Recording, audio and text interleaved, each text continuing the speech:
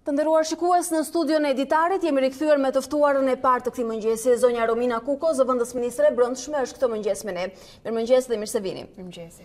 Zonja Kuko, nëse do të flasim për situatën e sigurisë në vend, që tashmë është kthyer në kryefjalë, sigurisht që do ta nis duke ju cituar disa shifra.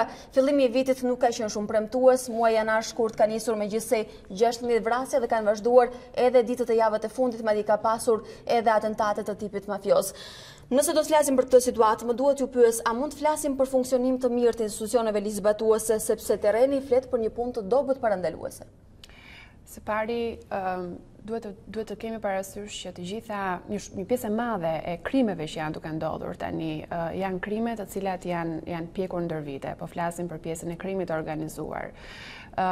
Kemi të bëjmë me persona të cilët kanë patur precedent penal, pra personat që kryejnë këto krime. Çka do thotë që policia shpesh e ka bërë punën e saj, po këta persona shpesh kanë hyrë nga dera e komisariatit dhe kanë dalë nga dera e gjykatës. Kështu që së pari duhet ta kemi parasysh këtë element, dobësinë e gjyqësorit për të mbajtur pas hekurave personat me precedent penal. Së dyti, puna parandaluese nuk është diçka që i përket vetëm policisë së shtetit. Po dëgjoja pak më parë të thuhej se duhet të vijnë forca speciale për të parandaluar kriminalitetin etj etj. Po, është thirrja për qytetin e Shkodrës. Forca speciale nuk mund të parandalojnë kriminalitetin. Kriminalitetin e parandalon së pari të gjitha, të gjithë aktorët të cilët funksionojnë në një qytet të caktuar. E parandalon bashkia, sepse dhe vetë ligji për vetëqeverisjen vendore, neni 29 thotë që Pushteti vendor është përgjegjës për sigurinë e qytetarëve. E parandalojnë shkollat, e parandalojnë shërbimet shëndetësore, e parandalojnë vetë qytetarët dhe më pas sigurisht që policia ka dhe rolin e vet. Megjithatë, në qoftë se kriminaliteti është në përqindjen e asaj që flasim për Shkodrën, gjithmonë me shifra dhe numër të ditëve dhe javëve të fundit, ndoshta pushteti vendor ndjehet dhe është i pafuqishëm.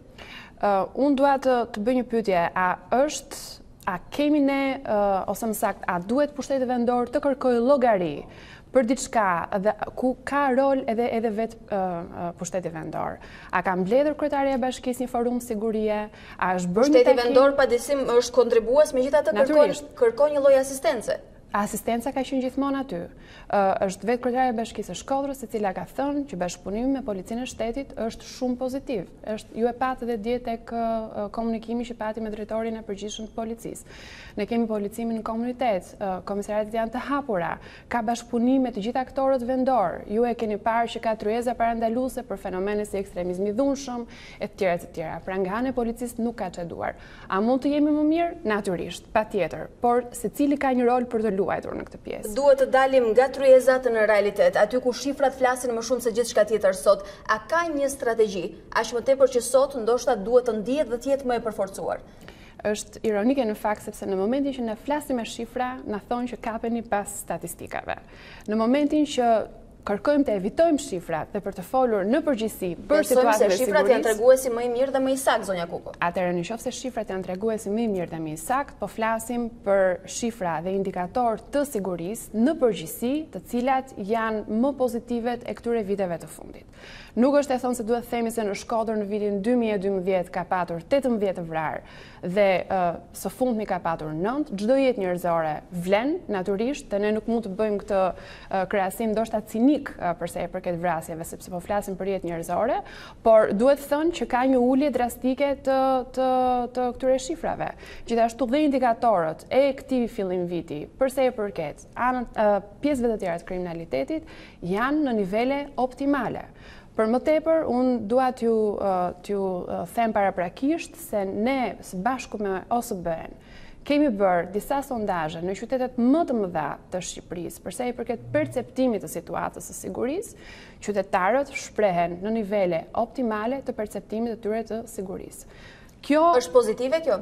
Kjo është natyrisht pozitive sepse tregon që njerëzit ndjehen të sigurt në familjet e tyre, në lagjet e tyre, në fund të ditës qytetarit i intereson jeta e përditshme dhe jo këto sensacionet, të cilat natyrisht ndikojnë edhe në në perceptimet e e qytetarëve. Zonja Kuko, unë jam qytetare e këtij vendi, përveçse gazetare, dhe ka ndodhur që të ketë vrasje në mes të qyteteve, në qendër të qyteteve, rasti i fundit ku u godit edhe drejtësia, ishte avokati Gurra në mes të qytetit të Elbasanit, Unë nuk besoj se mund të ndihem e sigurt kur dal. Natyrisht ato janë ngjarje të rënda, po kini parasysh që në një luftë frontale me krimin do të ketë raste kur krimi do të goditet dhe do të ketë raste natyrisht ku krimi do të na godasi. Nuk mund të pretendojmë se kjo është një, një luftë lineare ku ne do të dalim gjithmonë fitimtarë, do të ketë reaksionin e vet, Por kjo nuk do të thotë që ne si qytetarë të Shqipërisë duhet të ndjehemi të pasigurt në përditshmërinë tonë, sepse kemi të bëjmë me krim të organizuar, kemi të bëjmë me atë çka dhe ministri e tha dje larje hesapesh, pra kemi të bëjmë me segmente të cilat nuk kanë pse të prekin qytetarin.